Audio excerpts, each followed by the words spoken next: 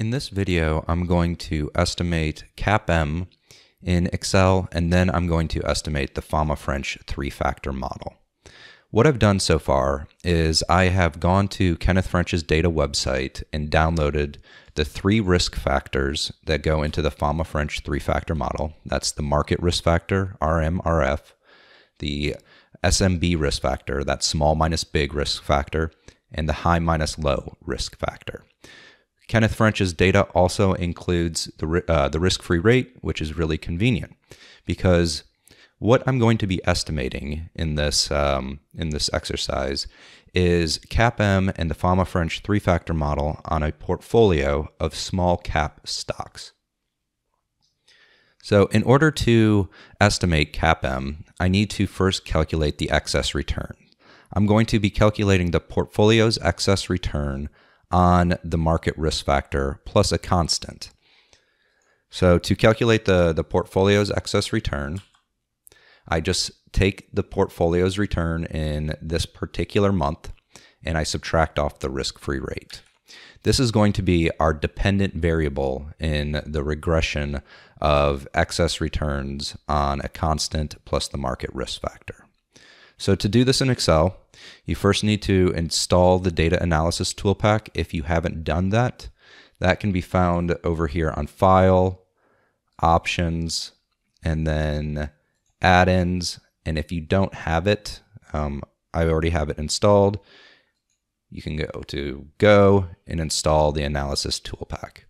Mine's already installed, so I'm going to run a CAPM regression um, by first hitting the uh, data analysis um, uh, tool pack, going down to regression, hitting OK.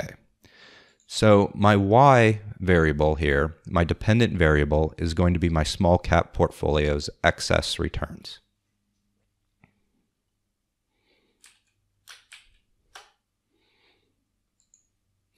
My X variable, or my uh, input X range right here, this is going to be my market risk factor. Now I've included labels to make it uh, make it easy to work with. Um, now all I've got to do is hit OK, and I have the summary output from the the CAPM estimation in Excel, and this is for that small uh, cap portfolio. Now, I find that the the beta of this CAPM is about 1.37. Don't really have much in, um, intuition for that, but what's really surprising is the alpha. This intercept term is our alpha. This alpha is 43 basis points, and it's statistically significant, which you can tell by the p-value here. It's statistically significant at conventional levels. This doesn't make much sense because this is an easy to implement investment strategy. You're just buying small cap companies. So I think something's going on here, and I think that is we're omitting a risk factor.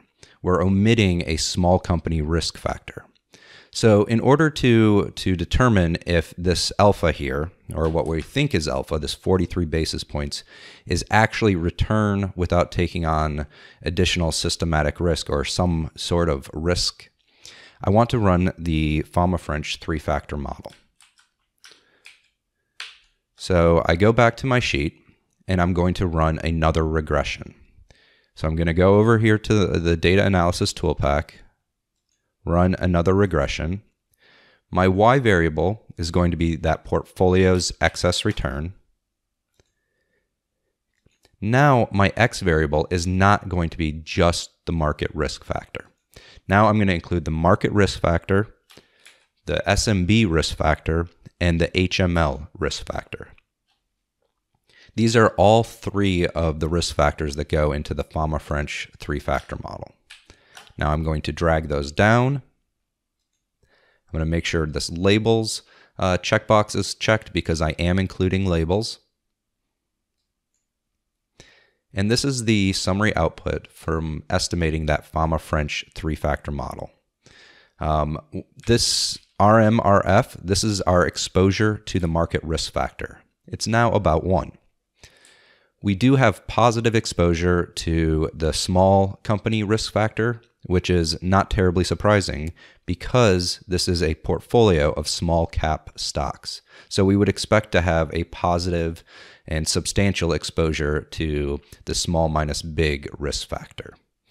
What's interesting about um, uh, adding this small minus big risk factor, the small company risk factor, is that once we include that small minus big risk factor, the intercept, which is our alpha, disappears. It's no longer statistically significant at conventional levels.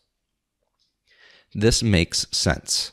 The small cap portfolio was an easy to implement investment strategy, and so we would not expect to have any alpha. Um, uh, as I harp on in my class, that alpha is generated through creating private information. In this case, there is no private information. We're investing in a very, very simple investment strategy. So once we control for the small company risk factor by including that SMB risk factor, our alpha disappears, which is what we expect. When we estimated CAPM without including that small company risk factor, it did appear like we were earning excess returns from this investment strategy. But in actuality, all we were doing was omitting a risk factor that, that this portfolio loaded on. So in this video, what I've done is I have calculated or um, estimated a CAPM model, uh, both the alpha and the beta, using Excel. And then I've estimated the Fama French three factor model. Um, I will include a link to where to get these risk factors. They're on Kenneth French's data website. And you can, um, in this example, I was using a portfolio of small cap companies. You can do this for individual stocks. You can do this for individual portfolios. You can do this for mutual funds, for uh, ETFs, any sort of, of stock return. The process is the same. First, you get those returns. Then you make sure that those returns are lined up appropriately with the, the risk factors from Kenneth French's website. Then you calculate the excess returns, which is simply that portfolio's returns minus the risk free rate. And then you run a regression using the data analysis tool pack in Excel. I hope this was helpful and uh, thank you for watching.